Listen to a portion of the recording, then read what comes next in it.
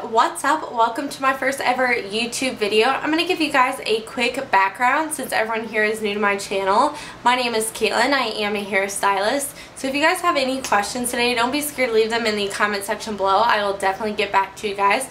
Um, but today I'm going to be showing you guys how to use clip-in extensions on short hair. If you are interested in this look, then continue to watch. Alright guys, so let's go ahead and get started. Today I'm going to be using my Bellami Khaleesi hair extensions. This is the 20 inch 280 gram set. It comes with 7 wefts. It also comes with this little cool hairband. I never use it, but you know, it's pretty cool.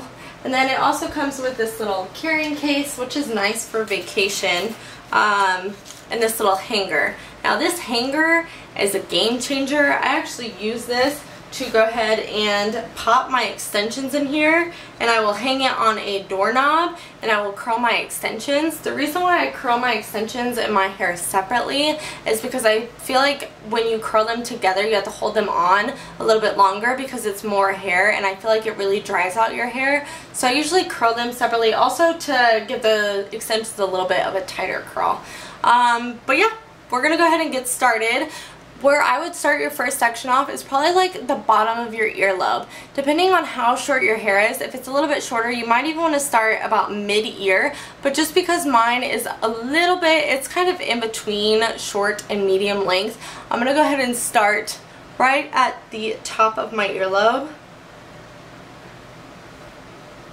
When I used to have shorter hair, my hair was a pixie and it's been growing out. Um, but when my hair was a little bit shorter, that is what I used to do. I would just take the section a little bit bigger on this bottom part. I've always followed the same steps even when I had long hair um, just because I noticed they this these steps really have worked out well for me. So you're going to go ahead and throw that bottom section into a quick little messy bun. It doesn't have to be perfect, but you definitely want to make sure that it's down packed to the back of your head. If you don't put in enough bobby pins for this, it'll kind of come undone and you'll feel a bump at the base of your neck uh, where your extensions start and it's just, it doesn't feel right. I don't know how to explain it, but you'll know if it happens to you. So you want to make sure that the bun is down packed as tight as possible. I'm going to go ahead and flip around. These next three sections are exactly the same, but the top two sections are a little bit different. So I'll show you guys this first section and then the top two sections. Alright, so this is the bun. You're going to want to make sure it's pretty tight down. I think I have it pretty tight. Um, and now we're going to go ahead and clip in the first section. This is a two clipped weft. I kind of want to go ahead and show you guys. I do label my extensions because I do cut them before I put them in my head. They were originally 20 inches. Um, now I say they're about 18 and layered. You want to make sure that you layer your hair when you have short, I mean your layer hair extensions when you have short hair uh, because you really, really want them to blend as best as possible. Okay guys? So I'm going to go ahead and turn around and show you guys this one piece. Kind of wiggle it around there, clip it right in. There we go. The reason why you guys want to do this, even if you have a little bit longer hair, is because the bottom section of your hair underneath the extensions is going to look like you have layers on the bottom of your hair or underneath your hair and that's not usually where layers go. They go on the top of your hair so I'd really recommend doing this step if your hair is shorter than your extensions in general. Um, if your hair is the same length, you don't really have to worry about it, but if it is shorter at all, I would definitely do this step. So the next step, you're going to go ahead and take at the middle of your ear, and this next piece is going to be a three clip extension. I usually put all my smaller clips at the bottom of my head and all of the bigger clips at the top of my head. And the reason why I do that is I feel like it gives a more seamless finish when you're done.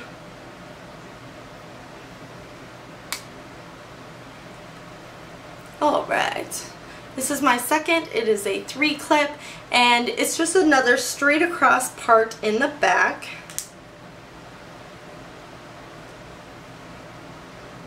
And this last bottom section is going to go at the top of your ear.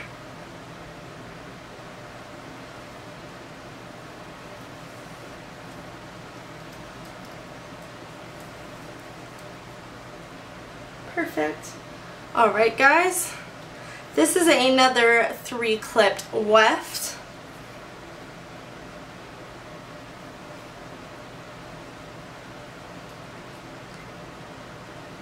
And I don't tease my hair, I just dry shampoo it before I put it in. Um, I noticed that these clips with the rubber bands that they have on, it really helps hold them in so I don't feel like I have to tease them. Alright, if you have shorter, shorter hair, um, I would definitely recommend teasing. It depends on how short. I would say from your shoulders above. I would recommend teasing just because it slides a little bit more. Um, shoulders below, even though mine's only a little bit further below, um, I would say that you, depending on your extensions, if they have the little rubber band underneath, you're probably safer off than if they don't. Alright, so this next piece is going to go at your temples. And on this piece you're going to U down and I'm going to show you guys in the back. But you're going to U down so that way you make sure that this extension doesn't go above the round of your crown. And the reason why you want to do that is at the round of your crown your hair tends to split a lot more. And so you don't want, you know, the wind to blow or your hair, ooh, that's cute. You don't want the wind to blow or your hair to split and to be able to see um, the extension whatsoever. Alright. So as you can see it kind of goes from here and it U's down to the back and I'm going to do the same thing with the top section. I'll probably show you guys this again just because it's a little bit different than just the straight across part. Alright, so this next section, I mean this next section, yeah, is a four clipped weft. Um, and since we're getting around the hairline, I'm going to go ahead and show you guys I make sure that I stay an inch above my ear as well as an inch behind the hairline. And the reason why I do that is I really don't I push my hair back a lot and you really don't want to see extension in the front. I know a lot of people with shorter hair will tend to clip their extensions closer to the front of their hair just to hide shorter baby hairs. Um, I'd rather blend in or attempt to blend in shorter hairs more and take a little bit longer of a time than clip this extension right here and always be worried about someone seeing that. Alright, so we're going to go ahead and clip this one in. I do kind of twist them. I see a lot of people do that in videos, um, but I do kind of twist them, especially around my hairline, just because I notice that hair is a little bit finer than the rest of my hair. Now this next one is a two clip and the reason why I do that is because they meet perfectly in the back and it's just one nice seamless uh, weft. And I'll show you guys that when I'm done clipping this one in.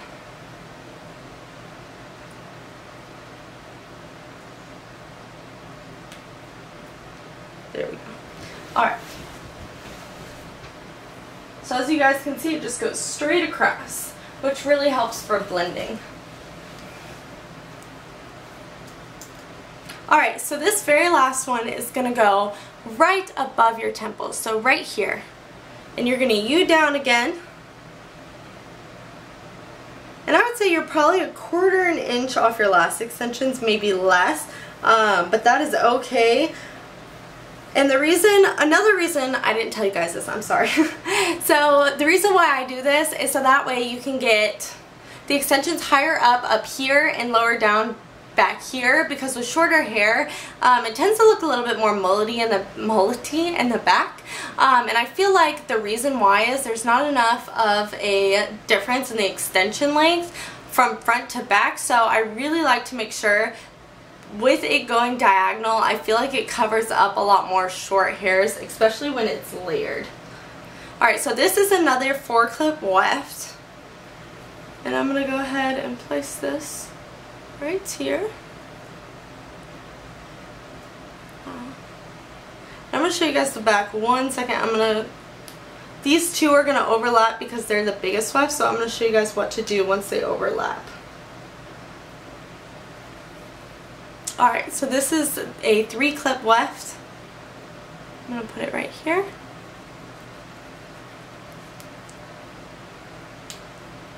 Alright, now in the back, these two are going to overlap. Anytime you have extensions overlapping, I would not recommend clipping this piece up because I feel like you're going to see it once you let your hair down or on top because then there's going to be a bump in the back of your head.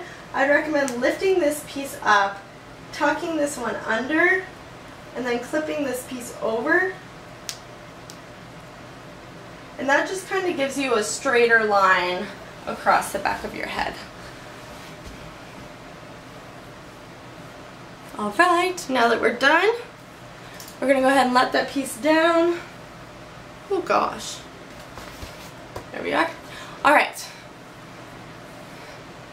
Now, with this section, I would go ahead and take a brush and just brush the mid shaft of your hair. Don't brush all the way through the extensions. You don't want your extensions to drop the curl. Um, but you do kind of want to fan your hair out so it blends in with the extensions going down.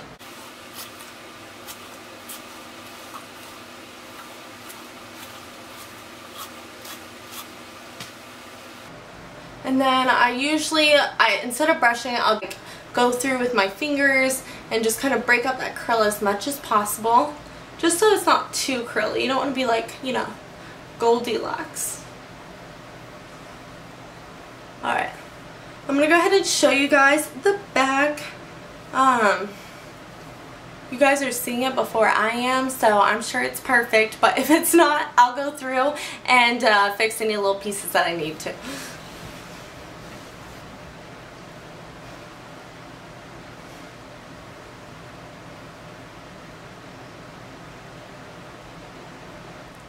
Thank you guys so much for watching my video. I hope that you guys really, really enjoyed it. If you did, go ahead and give it a thumbs up and subscribe. If you guys have any ideas for my next video, don't be scared to comment that either. But yeah, I will see you guys this upcoming Thursday.